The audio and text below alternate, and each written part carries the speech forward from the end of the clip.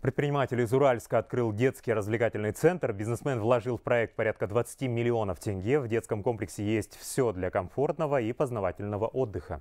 Даже частичка Астаны, аналог сферы Нуралем с выставки «Экспо». Внутри настоящего самолета организовали кафе. Специально для осуществления этой необычной задумки предприниматель на аукционе в Актубе приобрел списанный лайнер Як-40. Чтобы создать настоящую атмосферу полета, внутри самолета ничего не стали менять. В оригинальном виде сохранился салон и даже кабина пилота. Думаю, что э, это наш, наш парк, Park, он будет э, одной из достопримечательностей нашей области и нашего, нашего города.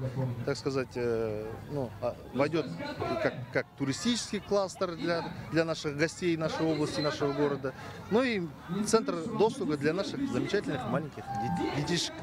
Это построено все ради них, для них. Э, в детях наше будущее.